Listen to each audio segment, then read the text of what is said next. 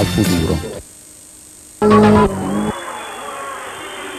L'ultima di campionato è una passerella solo per il Chieti, non per il Porto Pescara costretto a vincere per evitare i play-out.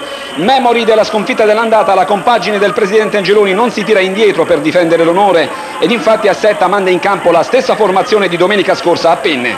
Dunque panchina per Santarelli e Praino. La giornata molto calda non scoraggia l'afflusso del pubblico che inizia ad incitare i neroverdi e su una bella combinazione suggerita da Di Mauro, Vespucci e Partemi servono su un piatto d'argento la palla dell'immediato vantaggio che Fidanza capitalizza senza farsi pregare.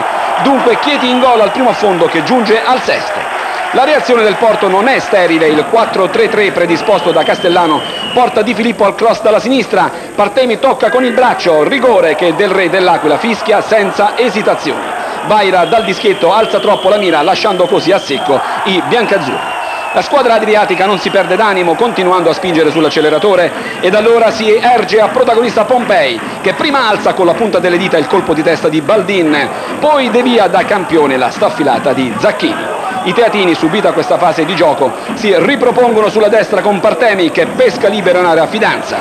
Controllo e tiro fulminante che non dà scampo a Di Giacomo. 22esimo gol e quarta doppietta per il centravanti di casa che raccoglie gli applausi di tutto l'Angelini.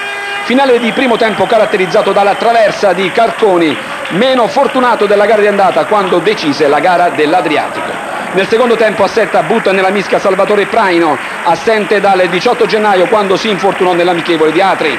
Giusto il tempo di illuminare il proscenio con il tocco smarcante che Beniamino vanifica davanti a Di Giacomo. Subito dopo Stella dal limite sfiora il montante. Nella fase successiva il Chieti mantiene il possesso palla facendola girare molto. Il Porto non riesce a recuperare terreno trovando nel gran caldo un nemico in più. Ed allora in chiusura di contesa come in un bel film a lieto fine. Fidanza cerca l'inserimento di Praino che si fa trovare pronto in area.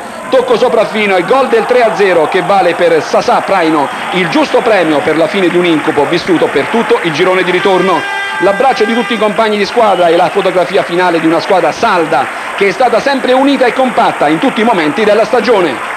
Non ci poteva essere occasione migliore per eh, rientrare dopo un eh, lungo infortunio.